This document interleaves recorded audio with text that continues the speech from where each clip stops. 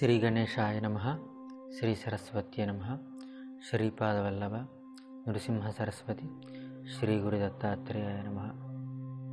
ఇప్పుడు మనం చెప్పుకోబోయేది భగవద్గీత. ఈ భగవద్గీతలో ఏమైనా తప్పులు ఉంటే దయచేసి క్షమించి వెంటనే తెలియజేయగలరని మనస్ఫూర్తిగా కోరుకుంటున్నాను. ఈ భగవద్గీత అనేది శ్రీకృష్ణుడు అర్జునుడికి చేసిన ఉపదేశం.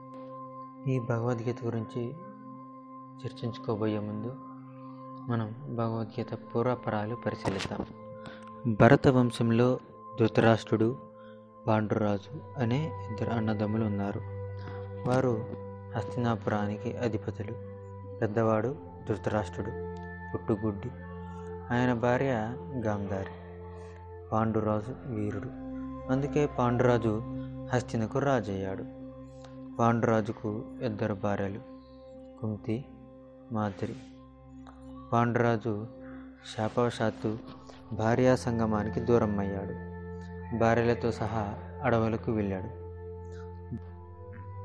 దుర్వాసుని మంత్ర ప్రభావంతో కుంతికి యుధిష్ఠిరుడు భీముడు అర్జునుడు అనే పుత్రులు మాద్రికి నకుల సహదేవులు అనే కుమారులు కలిగారు. హస్తినలో గాంధారికి సుయోధనుడు దుశ్శాసనుడు సహా నూరుగురు కుమారులు కలిగారు. నూరుగురు అంటే వంద మంది. పాండవులు సత్వగుణ సంపన్నులు అంటే చాలా మంచివారు అని అర్థం. సహనశీలురు ధర్మపరులు. నలుగురు తమ్ముళ్ళు కూడా అన్న యుధిష్ఠిరుడి మాట జవదాటరు. తల్లి మాటకు కట్టుబడి వారు ఐదుగురు పాంచాల రాజకుమారి ద్రౌపదిని వివాహం చేసుకున్నారు.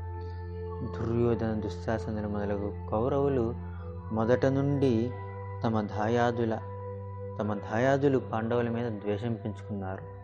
రాజ్యాధిపత్యం కోసం పూరు మొదలైంది రాష్ట్ర విభజన జరిగింది. పాండవులకు ఎందుకు పనికిరాని కాండవ ప్రస్థం ఇచ్చారు. వారు దాన్ని ఇంద్రప్రస్థంగా మార్చుకున్నారు. అంటే చాలా గొప్పగా తయారు చేశారు అని. రాజసూయ యాగం చేశారు. ధర్మరాజు దానికి చక్రవర్తి అయ్యాడు. అది చూచి ఓరవలేకపోయాడు సుయోధనుడు. వారి రాజ్యం ఎలాగైనా కాజేయాలని అనుకున్నాడు.